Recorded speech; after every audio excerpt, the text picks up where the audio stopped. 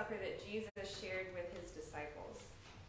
As you hear words from Scripture, and um, please imagine that you are sitting in the upper room with Jesus and the disciples. Hear what Jesus chooses to teach in his last moments on earth. Tomorrow is Good Friday, the day that marks when Jesus was crucified. And although we do not have a service tomorrow, I encourage you to leave this evening and to allow yourself to sit with the darkness of the cross. Absorb the depth of Jesus' love for us, that he would die an innocent man at the hands of our sin. Yeah. On Sunday, we will celebrate that Jesus is risen and that through our faith in him, we know that our sins are forgiven and that we have everlasting life. As we gather this evening, please join me in a word of prayer. Lord Jesus, we gather together this evening to sit around the table with you and the disciples. Help us to step into the words and the images of Scripture. May we symbolically take off our shoes with the disciples and allow you to wash our feet.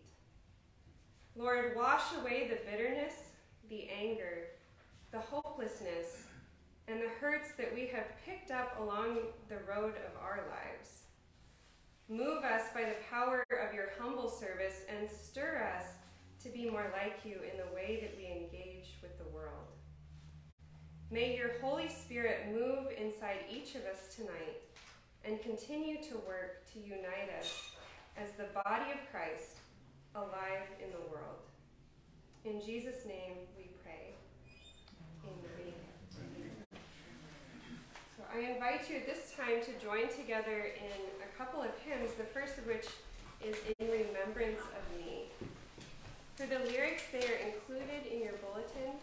Um, and I invite you to sing out.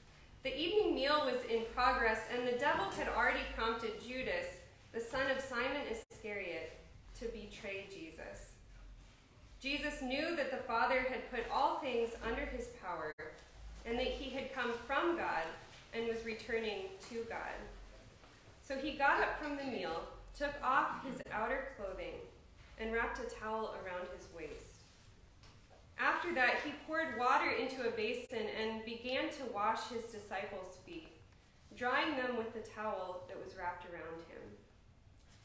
He came to Simon Peter, who said to him, Lord, are you going to wash my feet? Jesus replied, You do not realize now what I am doing, but later you will understand.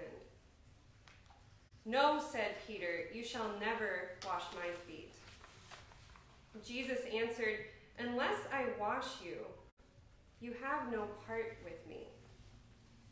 Then, Lord, Simon Peter replied, Not just my feet, but my hands and my head as well.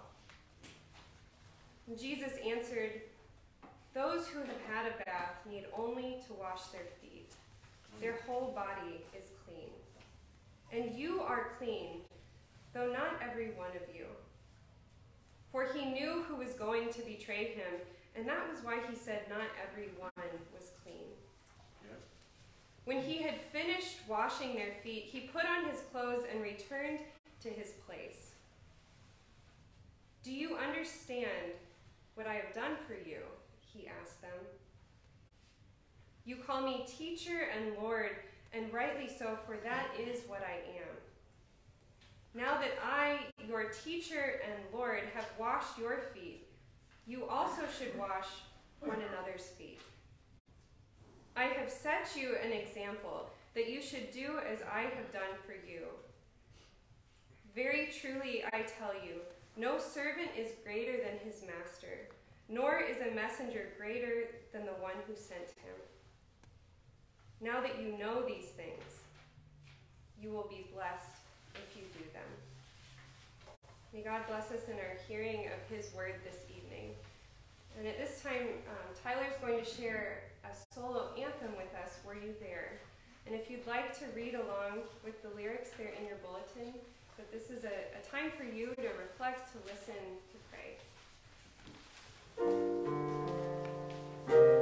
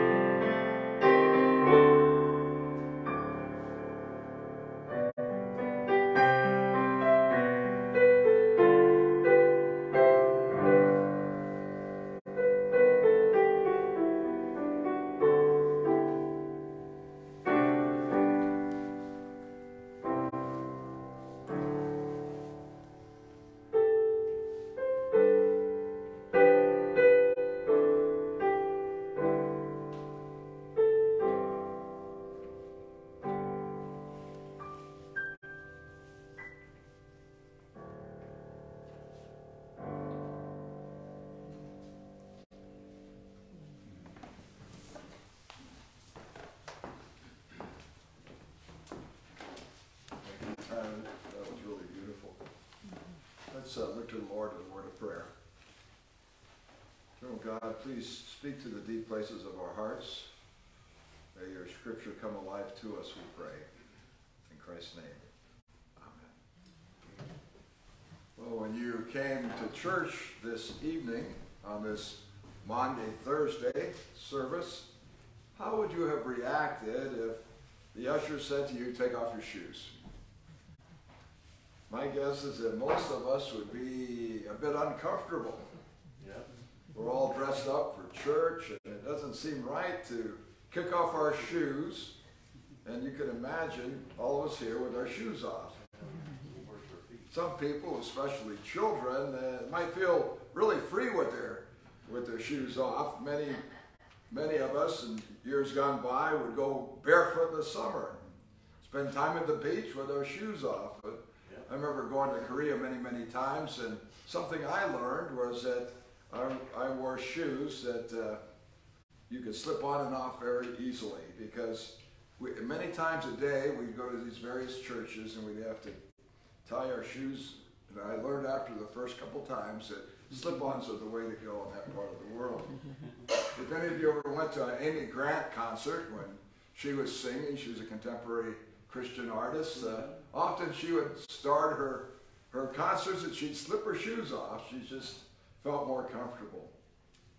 Many of us kick off our shoes after working hard all day when we go home, and it feels good to relax because sometimes our feet get tired.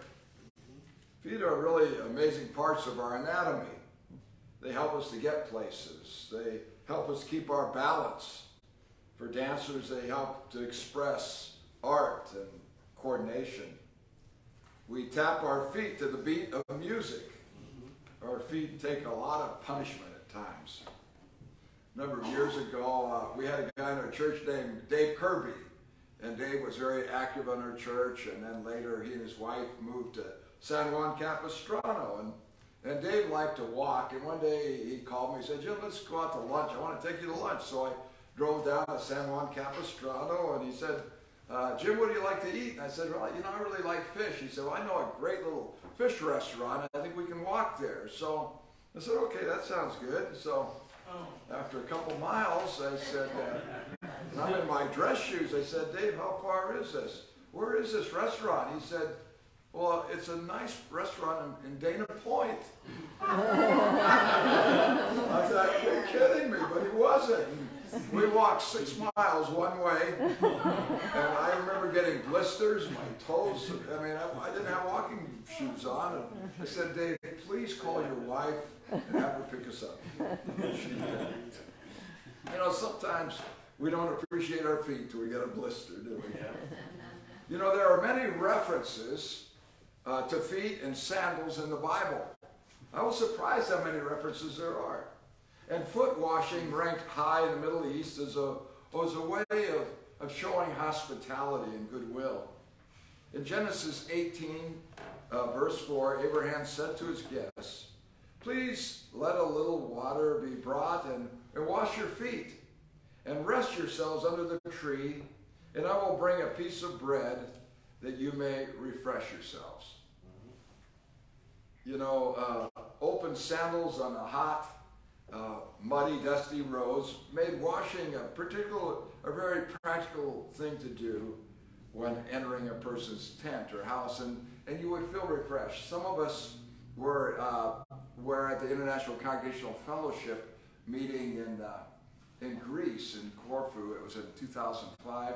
And I remember we, we followed the footsteps of Paul. We went to Corinth and these various places, and it was hot.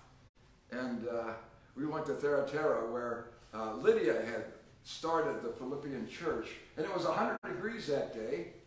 And they said, here, sit down. And there was a, a stream there. We, we kicked off our shoes and we put our feet in that cold water. And it was so refreshing.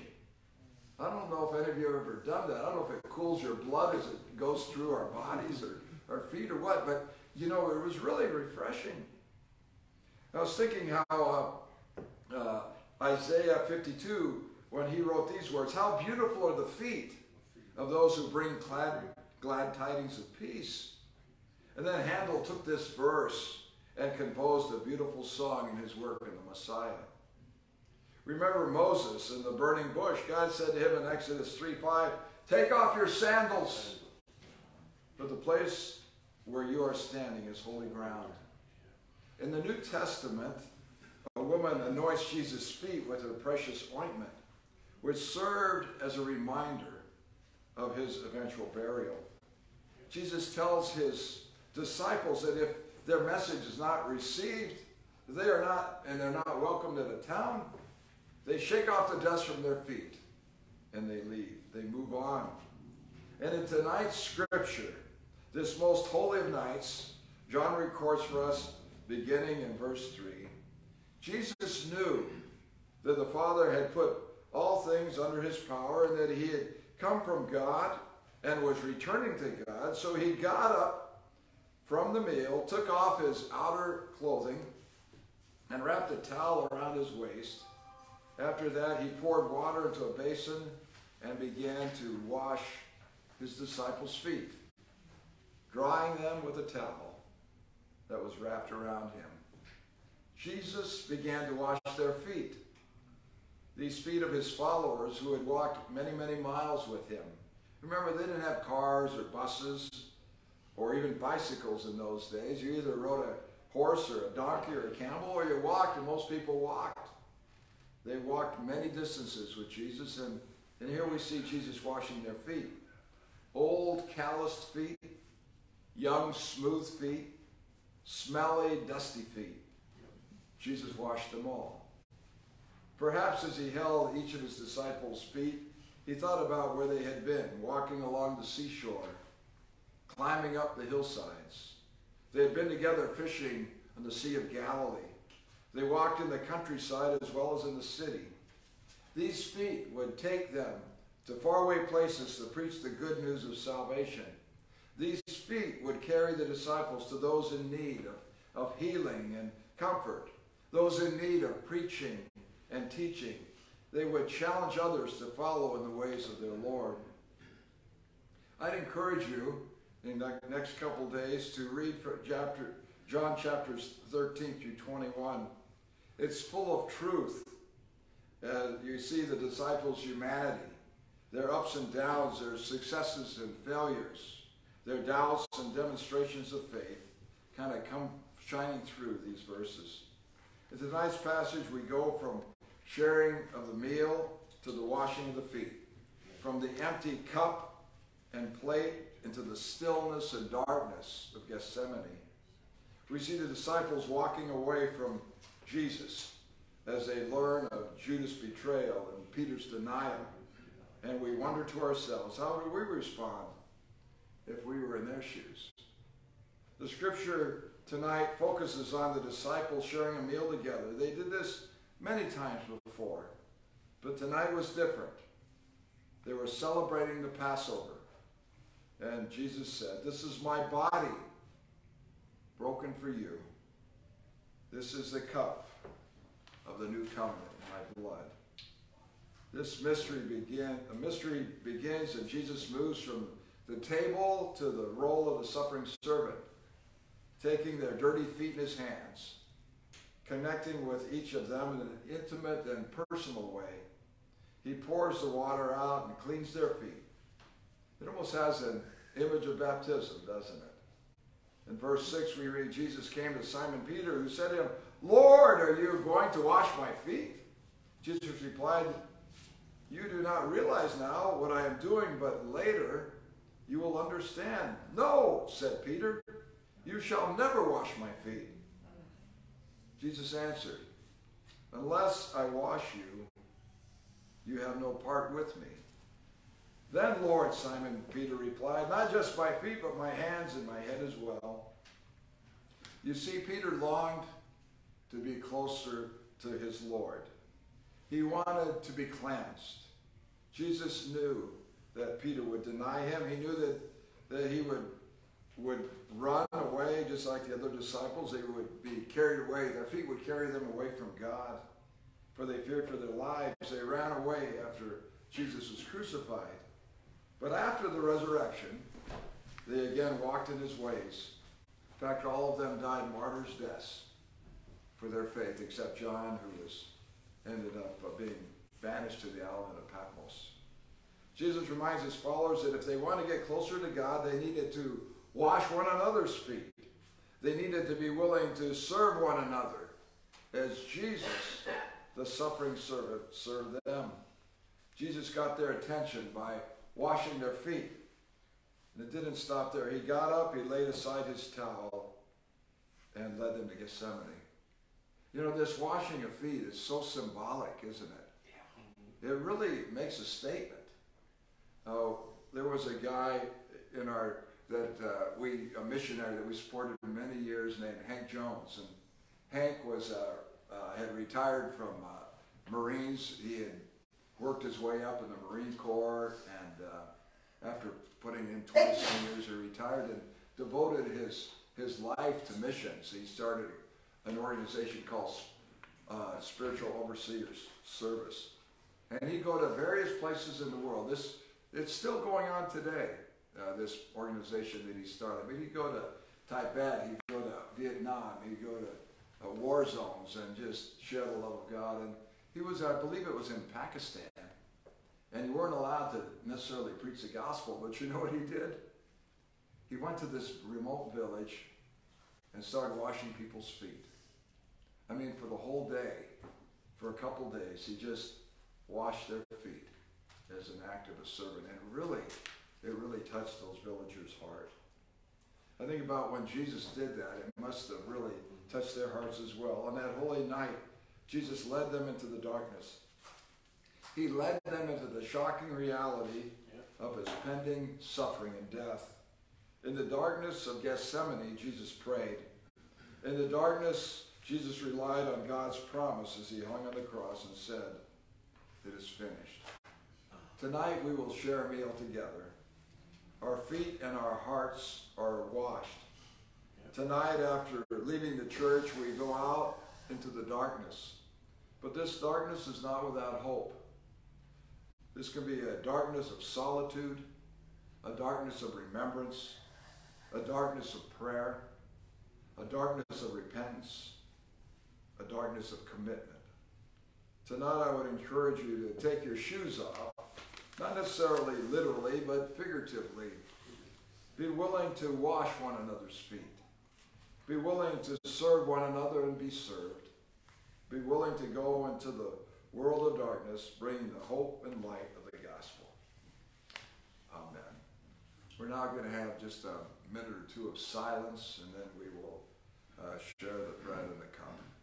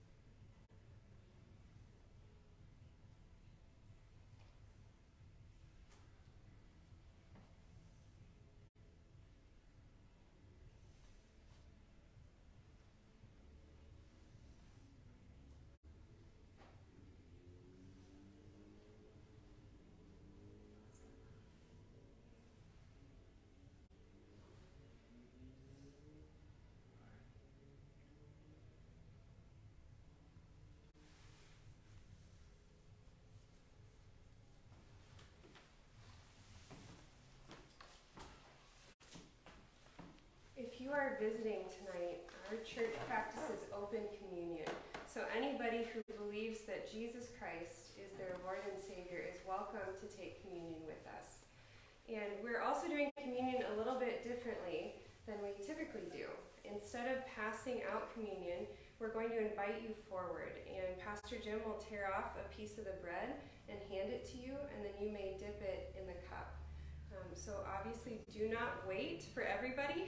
Take communion as you come through the line, um, and we look forward to breaking bread together.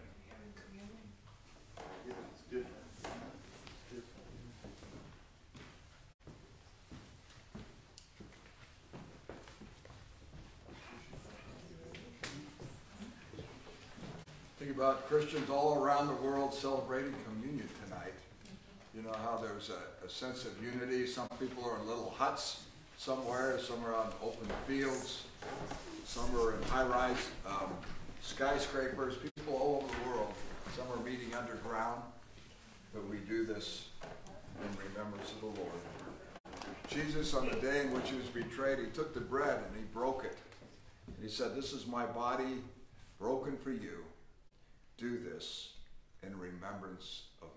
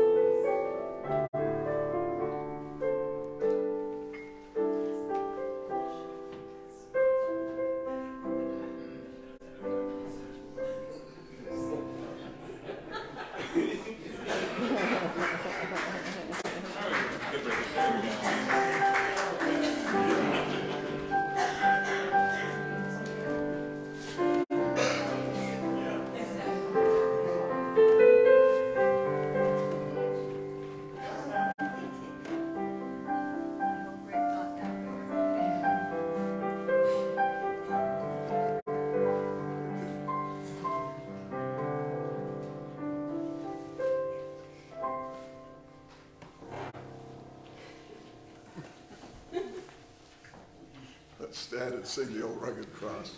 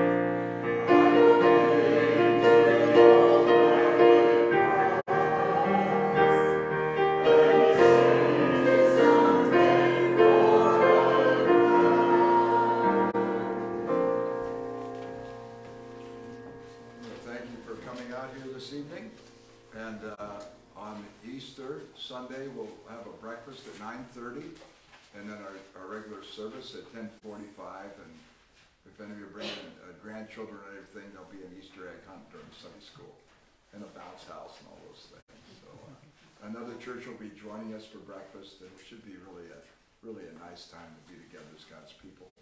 And also, there's a little offering plate in the back if anybody wants to put an offering back there, but any, the offering will be, uh, going toward the diaconate fund to help people in our own church that have needs uh, kind of fallen on some rough times. So we do what we can to help. Now may the Lord bless you and keep you. May the Lord make his face to shine upon you and be gracious unto you. May the Lord lift his counts upon you and give you his peace, both now and forever. Amen.